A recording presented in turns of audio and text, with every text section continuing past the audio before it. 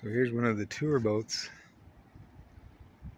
There's whitewater there. I guess it goes goes through the whitewater. As far as I know, I don't know. Interesting to know how it actually operates in the shallow whitewater.